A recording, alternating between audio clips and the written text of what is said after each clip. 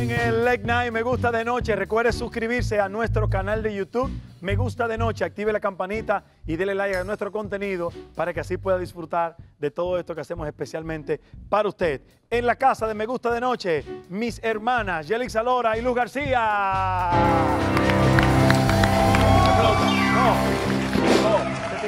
Hermana, nosotras, la realidad. No se puede. Bienvenida, chicas. Gracias, mi amor. ¿Cómo va la vida? Bueno, yo sobrepasando una semana de gripe. Una gripe. Anda, Estoy grave, Modo, modo o intenso. sea, modo té de ajo con cebolla. y Yo le dije que era remedio casero.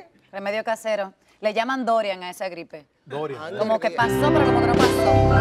Ustedes, aparte de ser eh, primerísimas figuras de la televisión, empresarias, Oh, wow. ahora se están desdoblando, cada una en unos asuntos especiales, en el caso tuyo, Así eh, es. todos los jueves de septiembre. Así es. Con este, es un monólogo, ¿verdad que sí? Así es, mi primer monólogo ya personal.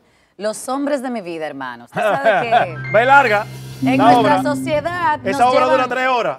Nos llevan un conteo interesante a las, a las mujeres en estos países latinoamericanos, tercermundistas, ciento- ciertos tabúes. Mira cómo iniciamos. El hombre que tiene más de una mujer es un bacano, la mujer que tiene más de un hombre- Exactamente. Y tú no lo has callado. Entonces, lo que pasa es que no he tenido tantos. No he tenido tantos. Sin embargo, al hablar de los hombres de mi vida, em, hablo de mi primer amor como lo fue o lo es todavía mi padre. El padre. primer amor de cada mujer, realmente su padre, lo Bien. tenga consigo o no. Eso es así. Y el Señor me bendijo Con un en hijo el maravilloso. vientre con un hijo que debo entregar a la sociedad como ese hombre Es uno de los hombres de entero, completo, así es. Entonces, de entre mi papá a Alan pasaron unos cuantos. Unos muchachos. Unos cuantos. ¿Cuántos, Yelisa, más o menos? En la historia. A en mí no me este- da cuento que conozco la mayoría. Tú conoces unos cuantos.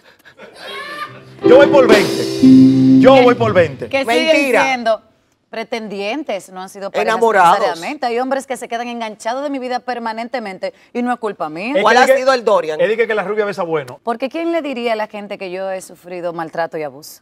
¿Quién ¿Cómo? se lo imaginaría? No, mira. A veces uno por cuidar la imagen hasta de un hombre que no pertenece a los medios. Deja de decir. Deja de decir ciertas verdades. Y yo he quedado muchas veces como la mala. Y si pertenece al medio, también. También por cuidarlo. Entonces creo que los hombres de mi vida, ya en esta etapa donde le agradezco a MAPS el que nos permita cada jueves presentarnos, no cover.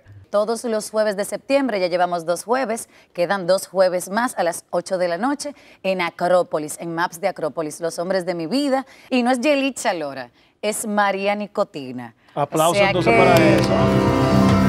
Y Así usted, es. rubia, está entonces en una conferencia también en eso Yo pues, eh, próximamente, el próximo sábado 21 de septiembre a las 6 de la tarde, estaré en la plataforma de Days to Shine compartiendo mi historia de vida, tanto en el aspecto personal como profesional.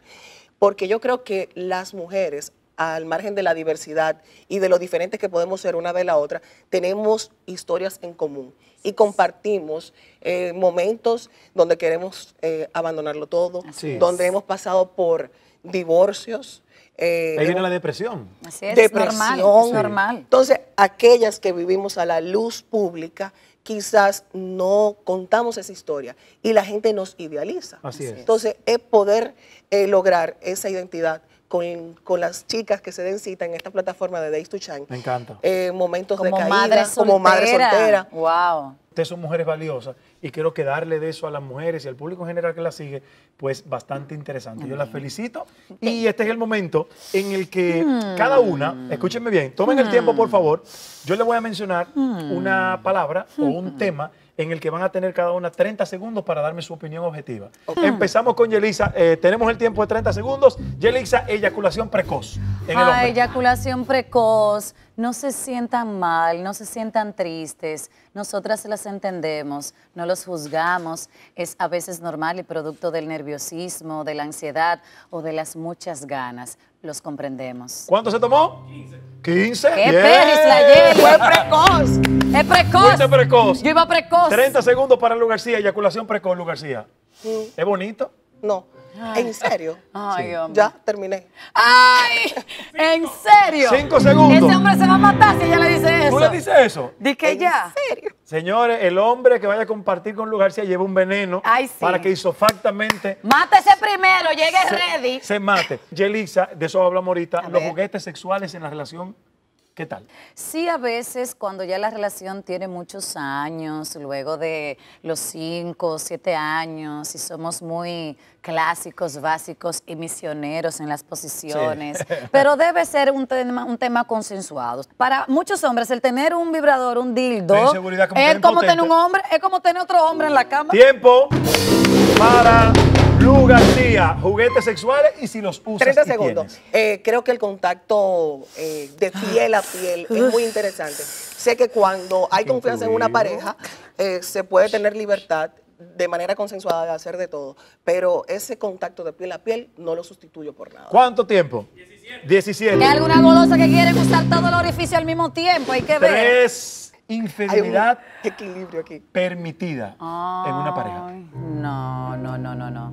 Todavía no conozco una relación de pareja a la que eso le haya resultado. Lo han intentado muchos, entendiendo que se puede ser una solución, una alternativa a la estabilidad. intentado tú? Para nada. Ok. Es lo único que yo entiendo que no pudiese, todavía no lo he podido perdonar. 30 segundos para Lu García. eh, infidelidad consensuada. Yo soy muy intensa, no doy tregua. ¡Ay! Y aparte de todo, muy celosa y posesiva, entonces no todo creo en eso. Posesiva Y y creo muchísimo en que cuando tú tienes que recurrir a una tercera persona, algo falta dentro de la relación que tú no lo puedes suplir. Me parece igual una falta de respeto y creo mucho en el amor. Entonces, cuando yo entiendo que una pareja está enamorada, existe la comunicación, eso no debe existir por el medio. Bien, Exacto. ¿qué tiempo? Y soy mocana y mato también. Para colmo.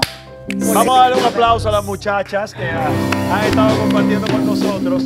Eh, en este coro que está la vaina. Seguimos con más del Late Night. Me gusta de noche. No se muevan. Gracias.